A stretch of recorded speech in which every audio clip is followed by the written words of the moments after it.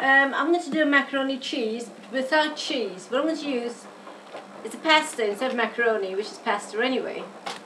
I've got some herbs, and I'm going to do half tuna, half whisk tuna, sorry.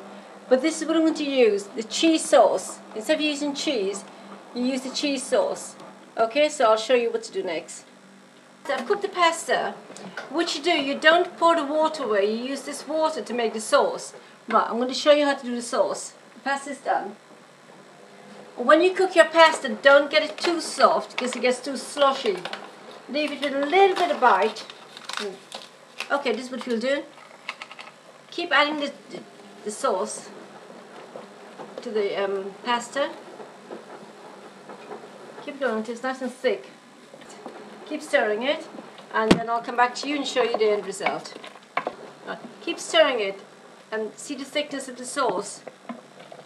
That's really nice. If it's, if it's too thick, just sweeten it with a little bit of water, but very carefully, do it very slowly. If it's too weak, just add some more sauce and keep stirring it until it gets to, um, to this um, thickness. Okay, now what we'll do, we'll put it in a baking tray. Okay, right, now I'm going to spoon it into the baking tray, but I'm going to keep some aside because um, I'm going to do some with some tuna. Well, that should be enough there, okay? Is that done? You spread that about. No cheese, this is just a sauce.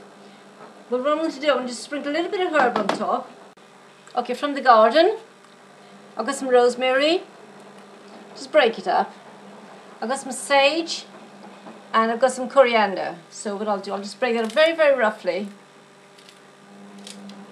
And just um, spread it about. That.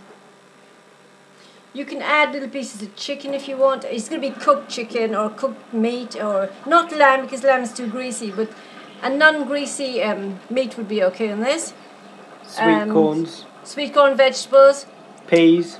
any vegetables, not too much, just a little bit, just to give it a bit of colour and a little bit of flavour, that's all. But not too much because then it gets too heavy. Okay, now put it into the oven, is. In there, 180 for about half an hour, but I'll come back to you on the time on that. So I'll set it for half an hour and then I'll come back to you on that. And then we'll do the tuna one.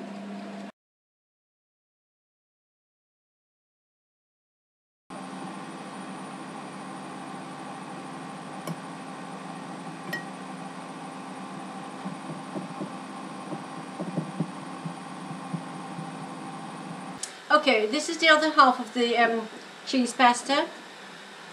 But I'm going to add the tuna out of the tin. You don't need to cook the tuna, it's already cooked. And then you just stir in very carefully. Don't do it too rough because you'll smash it all up. Just very carefully turn this in. So the tuna goes to the bottom and the pasta stays on the top.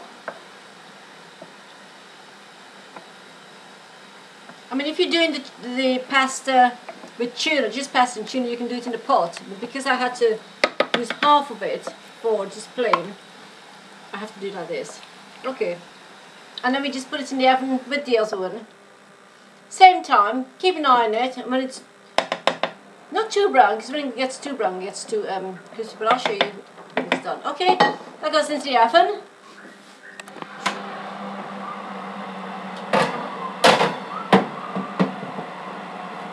That goes into the oven. Same time, 180. Half an hour was 180. This is the tuna pasta with cheese, sauce, not cheese.